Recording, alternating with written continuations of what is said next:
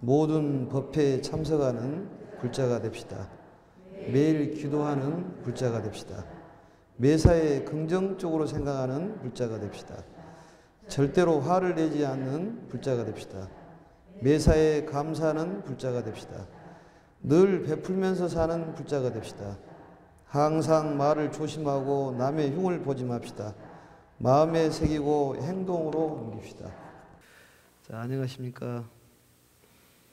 오늘은 에, 페이지 52페이지 에, 문에 대해서 좀 알아보도록 이렇게 하겠습니다.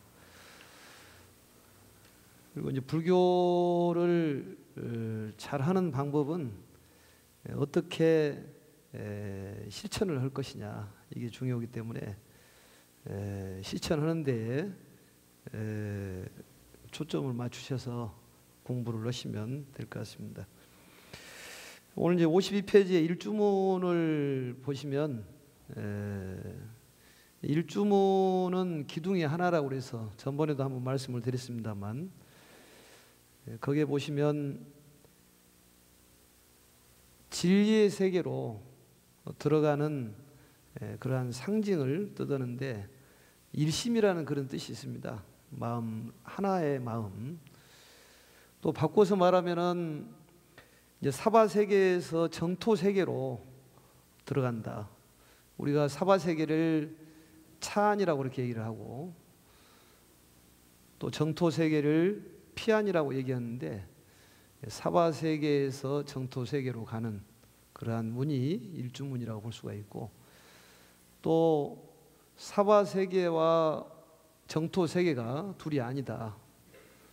그걸 우리가 뭐라고 그럽니까? 피차가 일반이라고 그렇게 얘기하는데 그러한 것은 어떤 몸뚱이가 문제가 있는 것이 아니라 마음에 있기 때문에 마음은 어떤 마음을 먹냐에 따라서 어, 어떤 부처님의 세계도 될 수가 있고 또 우리가 힘든 세계도 될 수가 있다 이렇게 볼 수가 있습니다.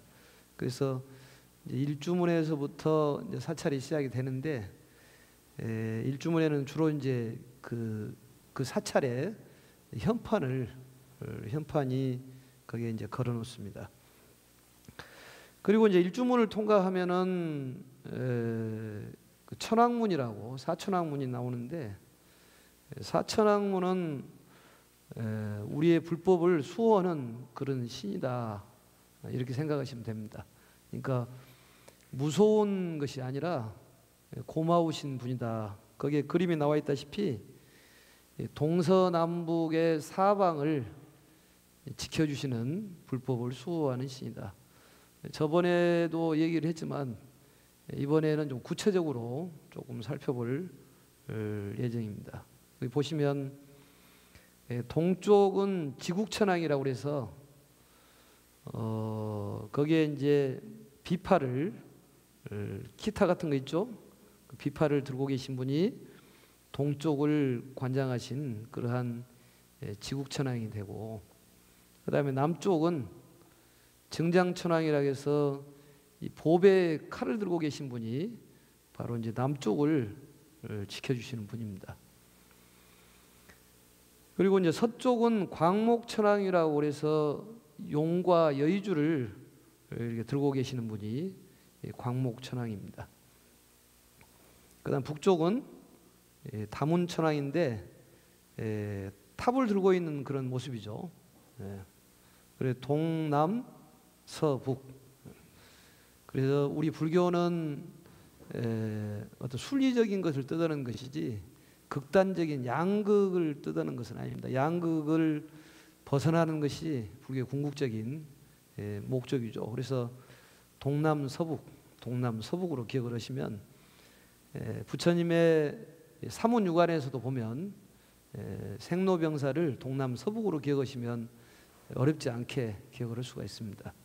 동쪽에서 어, 병든 사람을 보시고 남쪽에서 죽는 사람을 어, 동쪽에서 늙은 사람을 보고 남쪽에서 병든 사람을 보고 또 서쪽에서 죽는 사람을 보고 북쪽에 가서 에, 해탈할 수 있는 생사의 해탈법이 어디가 있을까?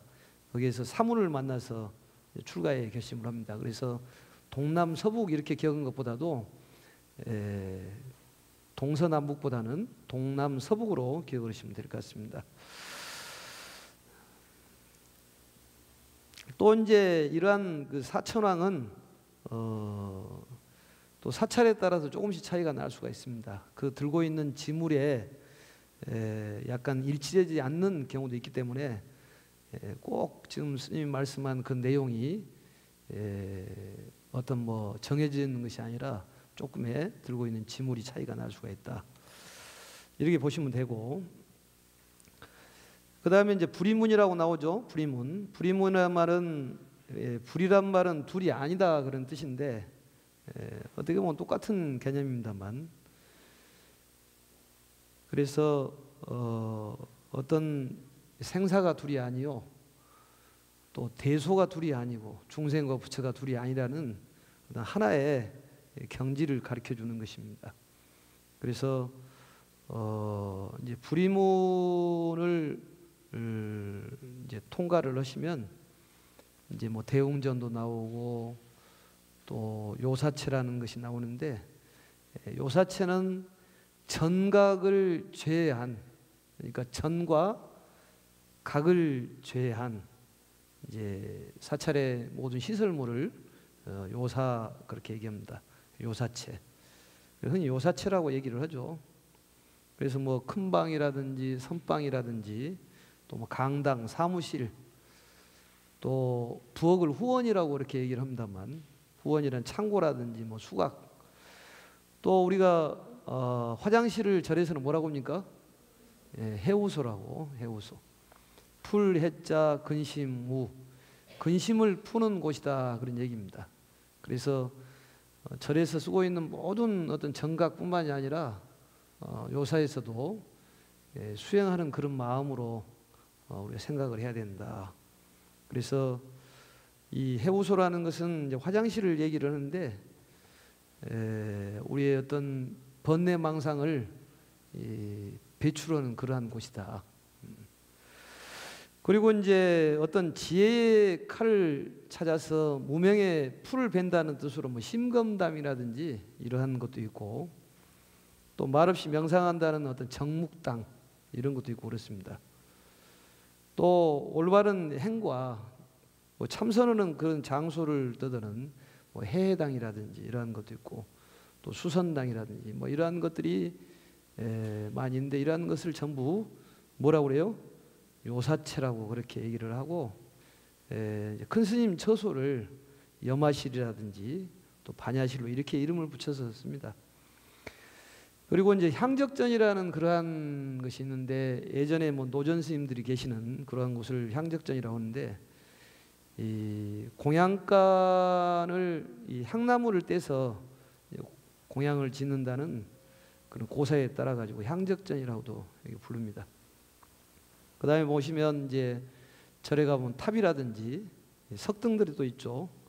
탑은 수투파라고 얘기를 합니다만 에, 원래 탑 속에는 사리를 모셔놓습니다. 또 경전이라든지 또 우리 부도에도 사리를 모셔놓습니다만 부도하고 탑이 조금 모양이 좀 차이가 납니다만 탑 위에는 뭐가 모셔졌을까 이게 또 궁금하는데 에, 사리라든지 또 경전을 모셔놓는다.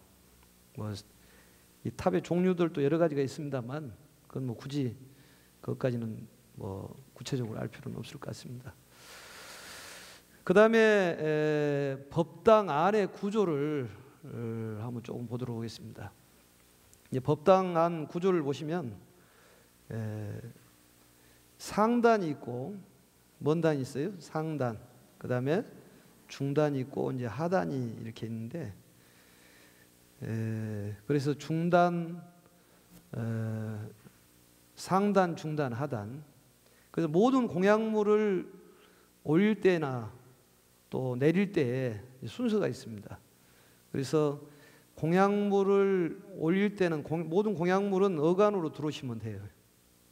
뒤로 돌아가지 말고 부처님의 공약물은 어간으로 이렇게 들어오시면 되고 또 뭐 공약물 외에 뭐 스님들 통과하는 그런 어간을 일반 신도들은 가능한 한 다니시 마시고 이 가운데로 그래서 비워놨지 않습니까? 어간이라고 그러는데 그걸 이제 상단, 중단, 하단 그러는데 에, 공약물을 올릴 때는 상단 그다음에 중단, 하단 이렇게 올려야 됩니다. 초를 켤 때도 중단, 상단, 중단, 하단 이렇게. 그 다음에 초를 끌 때는 하단, 중단, 상단 이렇게 끄는 거예요. 음. 또 공약물을 올릴 때도 마찬가지입니다. 상단, 중단, 하단 이렇게 예, 올리고 또 다개물을 부을 때도 역시 마찬가지로 상단, 중단, 하단 이렇게. 그래서 상단에서 중단으로, 중단에서 하단으로는 음식물이 태공이 될 수가 있지만 밑에서 위로는 올라오는 법이 없는 거예요. 음. 그러니까 하단을 우리가 영단이라고도 주로 얘기는 합니다만 제사 지내는 음식은 스님들한테 드리면은 안 되는 거예요. 원칙은 뭐 먹어서 나쁠 것은 없지만 왜냐하면 영가님들이 스님보다 아래에 있다고 생각하시면 됩니다. 그렇기 때문에 제사 지내는 음식은 스님들에게 드리는 것은 아니에요. 원칙이. 제사 지내기 전에 미리 스님들 음식을 이렇게 한쪽에다가 이게 뒀다가 스님을 드려야지 제사 지내는 음식을 드리는 것은 원칙은 아니다. 이걸 기억을 하시면 되고 어, 또 제사 지낼 때 우리가 고두례를 하지를 않습니다.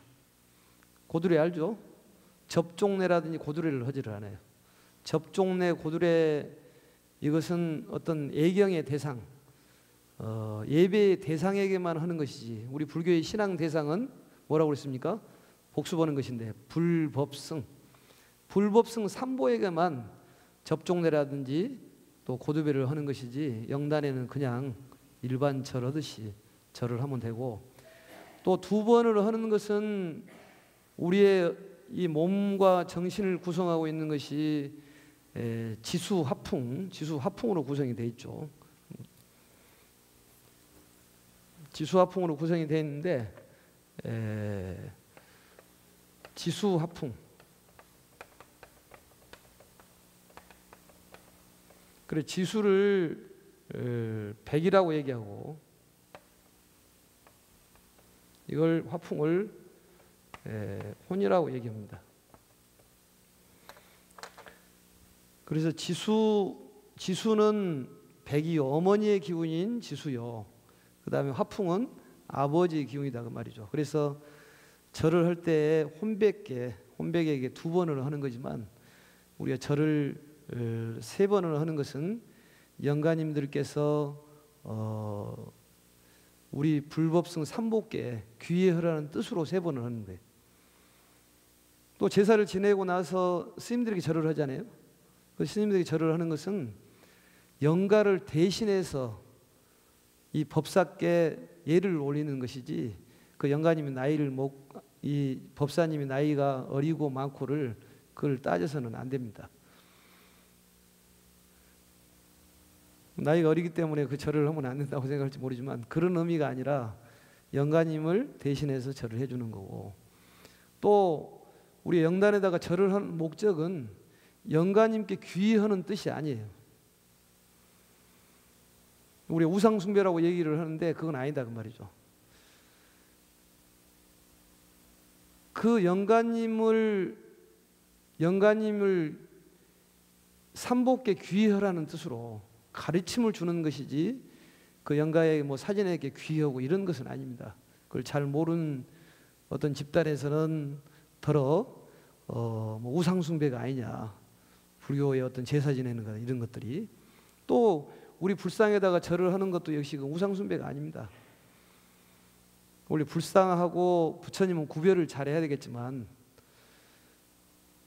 우리 부처님께 예배를 올리는 것은 부처님이 굉장히 위대하고 훌륭한 가르침을 주시기 때문에 고마워서 예를 표현하는 것인데 그렇게 고마운 분위기 때문에 그런 그림자뿐만이 아니라 그건 상호도 소중히 여겨야 되기 때문에 불상에다가 우리가 예를 올리는 것이지 그 부처님의 거룩한의 그 인격에 우리가 예배를 올린다고 우리 생각하시면 됩니다. 이걸 이제 지수 화풍을 4대라고 얘기를 하는 것이죠. 4대. 스님들이 축원을 할때 사백사병 영이 소멸이라고 얘기하는데 우리 신체적으로 보면은 에, 지성분으로 인해 가지고 오는 질병이 101가지. 그다음에 수병으로 생기는 것이 101가지. 또 화병으로 생기는 것이 101가지. 풍병으로 생기는 것이 101가지. 그래서 이 101가지, 101가지, 101가지, 101가지에서 404병의 병이 있는데 그 404병을 영이 소멸했으면 좋겠다고 스님들이 축원하지 않습니까? 음. 또 지성분이라는 것은 땅 성분은 견고해지는 성분이 있어요. 또 수성분은 적시는 성분이 있고 풍성분은 화성분 어째요? 따뜻한 성분이 있고 풍성분은 성장의 성품이 있습니다. 우리가 뭐 김을 매주고 또 이런 것은 풀이 있어서 매주는 것이 아니라 바람을 넣어준다 그 말이죠. 그래 절에서 분기별로 성지순례를 가지 않습니까? 사람도 바람이 좀 들어가야지 성장을 한답니다. 애들이 여행을 떠나면은 떠나, 여행 갔다 오면은 성장을 하듯이. 그래서 사람이 콧구멍에 바람을 넣어줘야지만이 좀 성장을 하는 거예요. 한쪽에 머물러 있는 것보다도 자업자득이라고 해요. 음.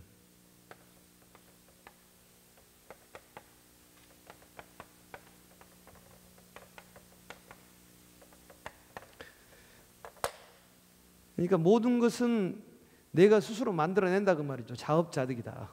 결국 우리 불교의 불자들은 내가 창조주다 그 말이죠. 결국은 모든 걸 고락을 내가 만들어내고 또 크고 적고를 내가 만들어내고 선악을 내가 만들어내는 것이지 근본적으로 이 세상에는 선악이 없습니다.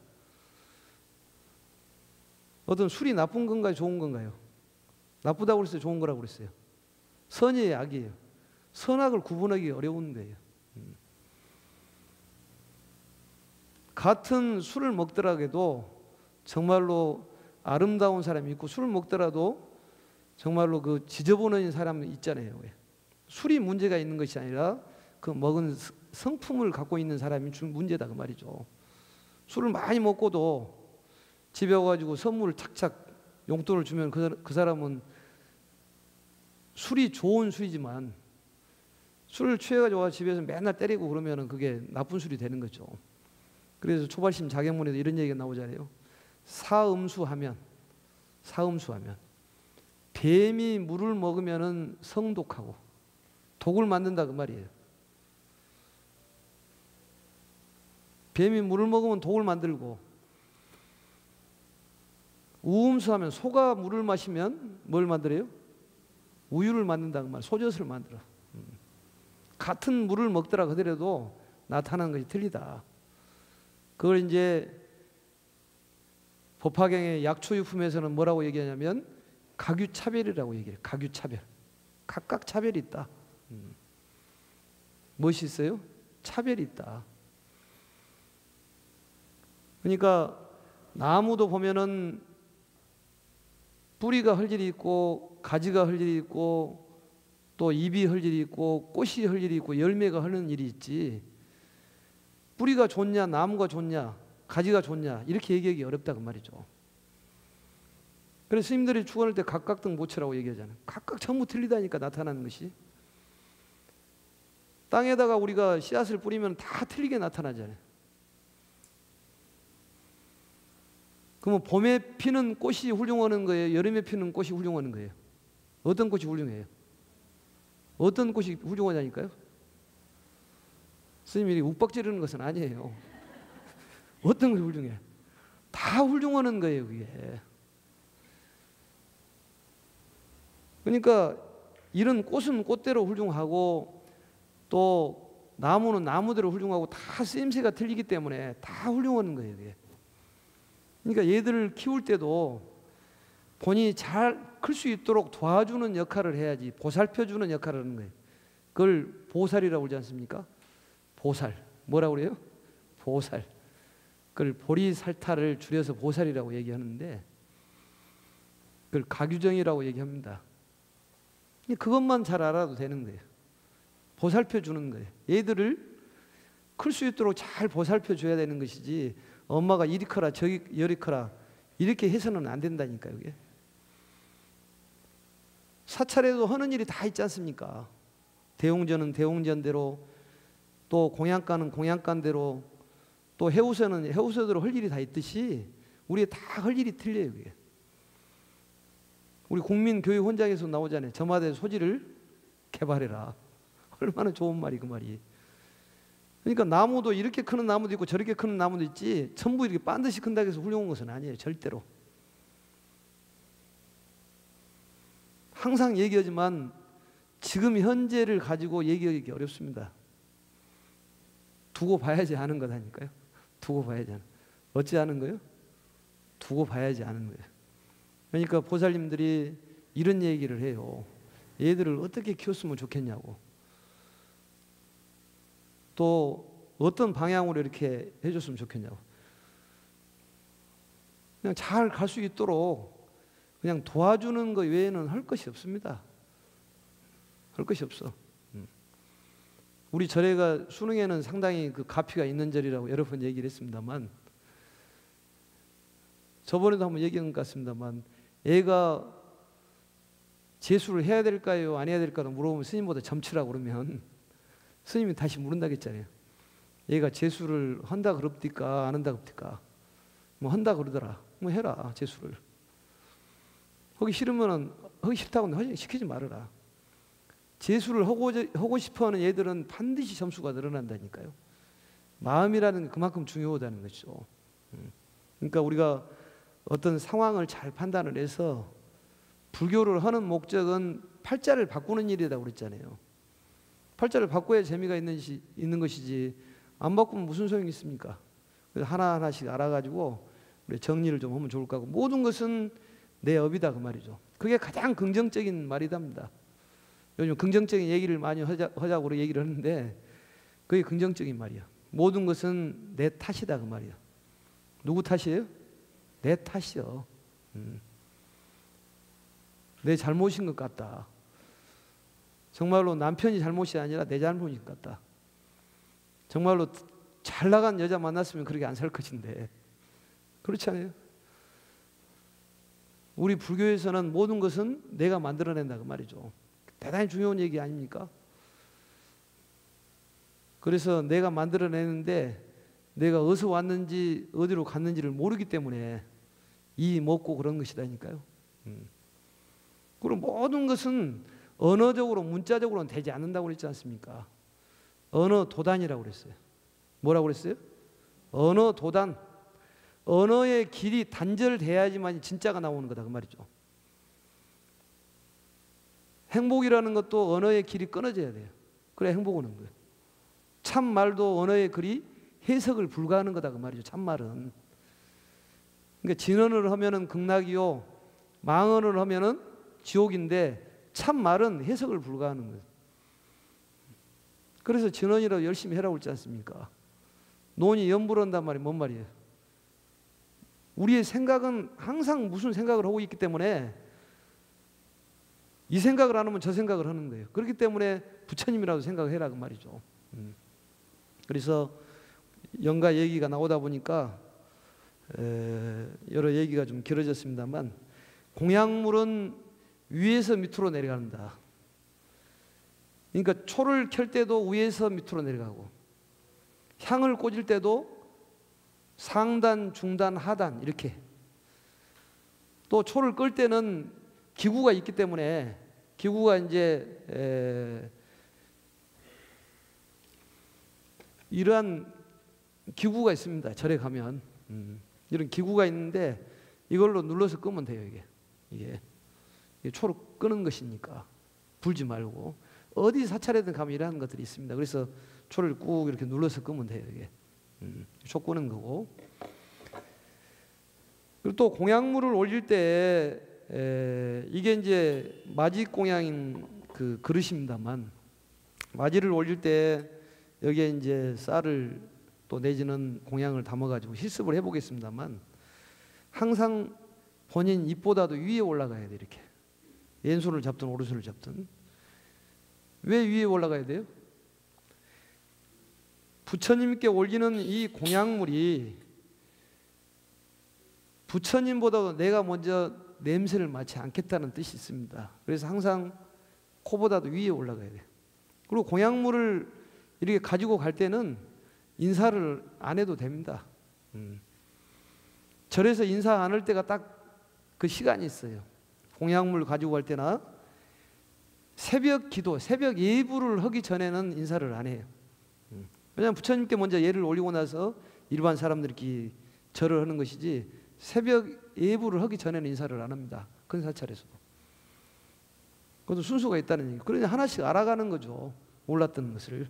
그래서 이 마지를 마지란 말은 맛있는 음식, 부처님께 올리는 맛있는 음식을 마지라고 그러는데 이거 올릴 때 이 코를 위에다가 이렇게 올리고 이렇게 두 손을 대든지 그리고 공약물은 이게 어간을 통과해서 오시면 된다. 이걸 기억을 하시면 되겠습니다. 그리고 이제 다갯물을 이제 예전에는 그 어, 차를 달여서 올리는 것을 이제 다개물이라고 그러는데 예, 요즘에는 이런 이제 깨끗한 물을 올리죠. 물을 올릴 때도 역시 상단 그다음에 중단 하단 이렇게 거들 때는 하단 중단 상단 이렇게 거두면 됩니다. 음. 그래서 모든 건 위계 질서가 필요한 거예요. 그걸 보면서 우리가 어떤 생각을 해야 되냐면 밥 먹을 때도 위계 질서가 필요해요. 우리 말에 찬물도 우아래가 있듯이 집에서도 밥을 먹을 때도 이런 아버지가 뭐 숟가락을 먼저 든 뒤에 애들이 든다든지 이런 위계질서가 필요하지 않을까 이런 생각이 듭니다. 그래서 이런 법당 내에서 어 이런 이 공약물을 올릴 때 방법을 말씀을 드렸고 또 제사 지낼 때 절을 하는 방법, 절을 하는 방법은 실습을 한번 또 해보도록 이렇게 하고 어, 저희 사찰에서는 음력 18일 날 영가님들을 위해서 이제 제사를 지내는 의식을 합니다. 관음제일 날은 이제 살아있는 사람을 위해서 하고 돌아가신 분을 위해서 18일에 지장제일 날 하고 있죠. 그리고 이제 저번에 염주에 대한 것을 조금 말씀을 드렸었는데 에, 이게 이제 그 개수 염주라고 해서 어, 숫자를 세는 이게 보이죠? 똑똑 지나가는 거. 그래서 개수 염주 좀 기억을 하셔서 이 불교 용품이라는 데 가면은 이제 살 수가 있죠. 신묘장군 대다란이라는 애울 때 이게 개수 염주를 한다고 그랬고 또이 어, 모주가 위로 올라가게끔 이렇게 예, 하시면 된다. 그리고 이제 공약물을 특히 에, 어떤 쌀이라든지 떡이라든지 또 과일이라든지 이렇게 올렸을 때 에, 떡을 올리고 나서 본인이 거기다가 이렇게 눈도장을 찍어 놓지 않습니까? 본인이 올렸다고 이렇게. 그리고 이제 그걸 떡을 올려놓고 또 가져가지 않습니까? 그래서는 안 됩니다. 공약물은 한 번 올라가면은 끝이에요. 무슨 얘기인지 알겠는가요? 본인 손에서 떠나면 끝나는 거예요, 그게. 그 다음에 어떻게 쓰든 말든 그 다음에 그 사람이 책임이다, 그 말이죠. 본인이 올렸으면은 그 본인이 올렸던 그걸로 해서 공덕은 끝나는 거예요. 그걸 어떻게 쓰든 말든 그 사람의 그 사람 그 다음에 일이다 그 말이죠. 음. 그 다음에 일인 거예요. 그러니까 어떤 쌀 떡을 올려놓고 떡을 무선으로 연결시켜 가지고 누가 옮기냐 안 옮기냐 이걸 볼 필요가 없습니다. 본인이 올렸으면 이제 끝나는 거예요. 아시겠죠? 절대 그런 좀 수준 떨어진 일을 하지 마라 그 말이죠. 갔다가 누가 올려가지고 그놈을 또 집에 가져가서 또 뭐 자기가 올렸다고 해서 이름 써놓고 이러지 말고 공덕을 짓는다는 것은 음덕이 최고예요. 뭔 덕이 최고요? 음덕. 음, 음덕이 최고. 음성적으로 짓는 것이 최고지 보이게 짓는 것은 이미 그 본인에 대한 것을 나타냈기 때문에 공덕이 끝나는 거예요. 그걸 무주상 보시라고 그랬잖아요. 무주상 보시. 그러니까 과일을 올렸으면은 올리는 걸로 끝내라 그 말이죠. 예? 향도 올렸으면 끝내. 초도 올렸으면 끝내. 또 이름을 쓸 필요도 없어요. 그 정도 부처님이 모르면 사표 내야죠, 사실은. 예? 그걸 모르겠어요. 부처님은 실지 실견이시다고 그랬어. 다 보고 다 알고 계신다 그 말이죠. 그렇기 때문에 공약물을 올릴 때는 거기에서 무선으로 눈으로 연결시켜 가지고 그걸 어디로 옮기냐 이런 것은 절대 하지 말고 한 번 올렸으면은 아, 내 공덕은 끝난 것이고 그 다음에 쓰고 안 쓰는 것은 그 다음 일이다 그 말이죠. 우리가 그게 계속 연결된다면 이런 현상이 벌어지는 거예요. 그걸 동업중생이라고 그러는데 업을 같이 진다 그 말이죠. 동업 공업중생이라고 그러는데 정말 살인범에게 진정한 마음으로 그 사람에게 돈을 얼마를 줬어. 진정한 마음으로. 근데 그 돈을 가지고 칼을 사가지고 사람을 해쳤어. 그러면 그게 돈을 준 사람이 문제가 되겠지만 그렇지가 않다 그 말이죠. 돈을 준 것은 진정한 마음으로 줬기 때문에 보시가 그 사람 공덕이 되는 거고 그걸 칼을 사가지고 그 돈을 가지고 쓰는 것은 그 사람의 문제가 된다 그 말이죠. 이해가 됩니까? 그렇기 때문에 공약물을 올릴 때 절대 보는 눈도장을 찍어 놓는다든지 떡을 올려놓고 또 떡을 싸간다든지 또 떡을 올려가지고 좀 약간 쓰러지면 아, 이 재수가 없는 것 아니냐. 뭐 초가 또 뭐 이상한 방향으로 타면은 뭐가 또 있지 않냐. 이런 생각은 하지 말아야 됩니다. 어떤 보이는 현상에 너무 급급할 필요가 없는 거예요. 우리 불교를 배우는 것이 어떤 보이는 것을 배우는 것은 아니지 않습니까? 보이지 않는 마음.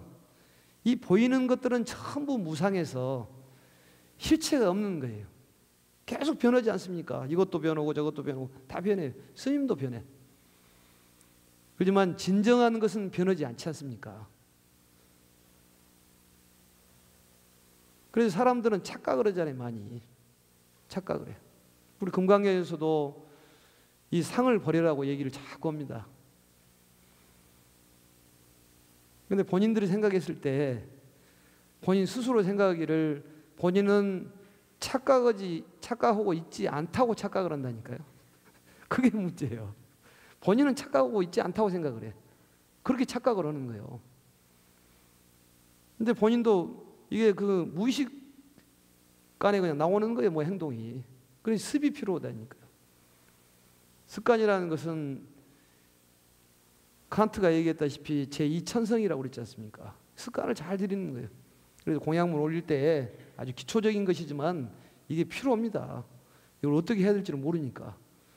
그래서 한번 올리면은 그걸 끝으로 생각을 해서 거기에 대한 너무 애착을 하지 말으라는 뜻으로 예, 말씀을 드렸고, 그러니까 새롭게 우리가 어, 태어난다 이런 생각을 하시면 돼요. 요즘에 그 솔개 선택이란 그 얘기가 아주 대세인데 그게 이제 골자가 뭐냐면 황골 탈퇴예요. 갱생을 뜯어는 거예요. 황골 탈퇴. 그러니까 그동안에 묵어있던 것을 다 버리고 새롭게 태어나자는 것인데 어떤 경제적으로도 또 정치적으로도 모든 부분에서 다시 태어날 필요가 있다는 것이죠. 우리 불교로 얘기한다면 윤회예요. 다시 태어난 환생을 얘기하는 것인데 그 솔개가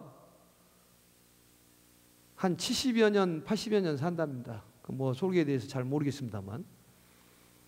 그런데 한 40년 동안 살면 그 부리가 무뎌지고 발톱이 무뎌지고 또 날개가 오래돼 가지고 이게 날지 못하는 무거워진대요, 그게.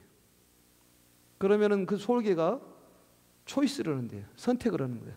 어떻게 선택을 하냐면 여기서 이 상태로 해서 사냥을 못, 못해서 죽어야 되느냐 아니면 다시 갱생을 해야 되냐 그럼 솔개가 선택을 하기를 거기서 죽은 솔, 솔개도 있겠지만 사냥을 못하면 죽으니까 그래서 선택을 해가지고 이 바이산으로 가가지고 그 부리를 본인이 오랫동안 묵었던 부리 이 부리가 무뎌져 가지고 이게 제 역할을 못 하는 거예요.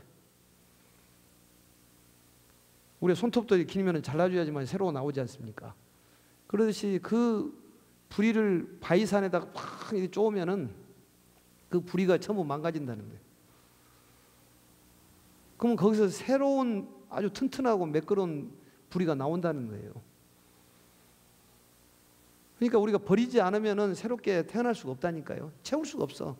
그릇도 역시 마찬가지로 그걸 그릇을 비워야지만 채울 수 있듯이 우리 마음도 비워야지만 새롭게 채울 수 있는 것입니다. 모든 부분에 해당하는 거예요. 가정에서도 마찬가지고 새롭게 어떤 변화가 필요하다는 얘기죠. 변화라는 것은 우리 불교에서는 윤회라고 얘기하고 생명을 얘기하는 것인데 그 불의로 해가지고 또 발톱을 다 뽑아버린대요. 그 무대에 있는 발톱을. 그럼 거기서 발톱이 새로 나오는 거예요. 또 그 깃털을 다 뽑은대요. 그게 약 한 100일이 넘게 걸린다네요. 100일이. 100일 기도가 필요하다니까 우리가. 아, 솔기에도 100일 기도를 하잖아요, 그렇게. 하물며 사람이 100일 기도 안 해도 되겠습니까? 100일이면 뭔 변화가 생긴다는 거예요. 육체적으로 변화가 생기고 마음의 변화가 생기고. 그래가지고 아주 새로운 어떤 부리가 나오고 발톱이 나오고 또 깃털이 나와가지고 갱생을 해가지고 새롭게 40년을 더 산다는 거예요. 이게. 응? 거기서 우리가 배우는 것이죠. 부처님의 가르침이 계시불법이라고 그랬습니다. 모든 것이 불법이라고 말이에요. 꼭 책에만 있는 것은 아니다는 얘기예요. 하루에면 스승을 수백 명씩 만난다고 그랬지 않습니까? 우리가 그걸 받아들이냐 못 받아들이냐에 따라서 틀리는 것이 그게 너무나 좋은 가르침이라는 얘기예요.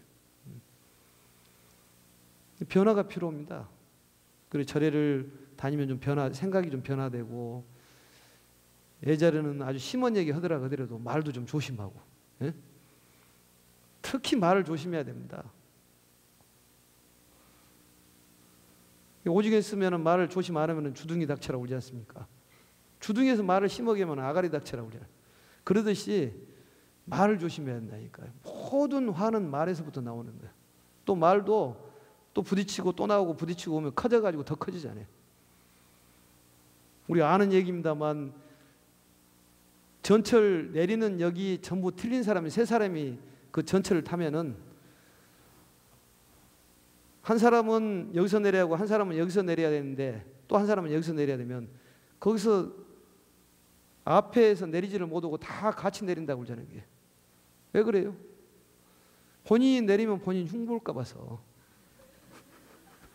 못 내린다 그러잖아요. 그걸 앞에 내리면은 그 사람이 또 흉을 보고 또 내리면 흉을 볼까 봐서 오직 했으면 흉 보지 말라고 얘기를 해요. 이게. 이제껏 흉을 봤으면은 다시 흉을 보지 않도록 우리 본성은 그런 사람들이 아니고 불심을 갖고 있기 때문에 보살심이 있는 사람들이에요. 그러니까 절에를 다니면 이제껏 계속 어떤 김보살 흉보고 이보살 이간질 시키고 고보살을 고자질 했다면은 이제는 하지 말고 새롭게 말도 참 칭찬의 말을 한다든지 조심스러운 말을 해야지. 그래야지만 절에 다니는 보람이 있는 것이지. 변화가 안 생기면 무슨 변화가 생, 안 생기면 절에 다니란 말하지 그게. 그렇지 않습니까? 그러니까 절을 다니면서 공약물 올렸으면 이제 변화가 생겨야지. 예전이나 지금은 똑같이 축원장 안 올려가지고 이름 안 나왔다고 해가지고 거품을 내고 이래서는 안 된다 그 말이지. 그렇잖아요. 그게 현실적으로 필요한 얘기들이에요. 오랫동안 스님이 절에서 있으면서 그런 일을 여러 번 겪었기 때문에 하는 얘기입니다.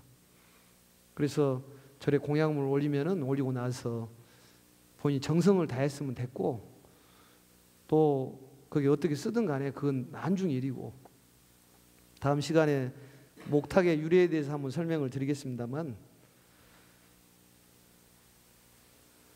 그 목탁의 유래에서 보면은 또 그런 얘기들이 재밌는 얘기들이 나옵니다. 그래서 다음 시간에는 어떤 법구라든지 왜 요령이 있느냐, 또 목탁이 있느냐, 또 북은 외치고 또 종은 외치는지 또 알, 알고 싶은 것이 너무 많지 않습니까? 그것이 알고 싶은 것이 너무 많잖아요. 뭐 하나씩 알아가는 거예요. 그리고 마음의 변화를 변화를 가져야 한다니까요. 다시 태어나야 돼 새롭게. 가정도 새로 태어나야 돼. 그래서 초심이라고 얘기하는 초심. 초심이 중요합니다. 음. 그래서 예전에 처음에 어떤 그런 마음, 그걸로 다시 돌아가는 거죠. 그래야지만 다시 태어날 수가 있기 때문에. 그래서 이 어떤 기초적인 것이 아무것도 아니다고 생각할지 모르지만은 대단히 중요합니다. 건물도 지으려고 하면은 기초가 튼튼해야 돼요. 운동하는데도 기초가 필요한 거예요. 야구 선수들도 그 스윙 기초를 닦기 위해서 하루에 5천 번, 만 번씩 스윙 연습을 한다고 그러지 않습니까? 그러듯이 우리 어떤 기초적인 게 중요해요. 사실 기초 교리가 훨씬 공부하기 어렵습니다. 아주 다방면으로 다뤄줘야 되기 때문에 그러는 거예요. 금강경만 금강경만 딱 하면 되기 때문에 별로 어렵지는 않아요, 그게. 그래서 우리가 사찰에서 어떤 일어나는 일들 이러한 것들을 잘 이렇게 생각을 하면서 하시고 이 어떤 변화를 가져야 된다. 한번 따라서 합시다. 변화, 개발, 완성. 음. 그러니까 어떤 것이 필요하다고 생각했을 때 변화를 가져서 계속 그걸 변화를 개발을 시키는 거예요. 맞다고 생각을 하면. 그리고 나서 본인 것으로 완성을 시킨다 그 말이죠. 좋은 것은 자꾸 개발을 해야 되는 거예요. 그래서 그동안에 묵었던 것이 있으면 봄도 되고 그러니까 겨울에 입었던 옷 다 다시 챙겨가지고 빨아서 넣듯, 넣듯이 우리의 마음도 새롭게 옷을 갈아입듯이 그런 어떤 좋은 계기로 삼았으면 좋을 것 같습니다. 강의 이렇게 마치겠습니다. 수고하셨습니다.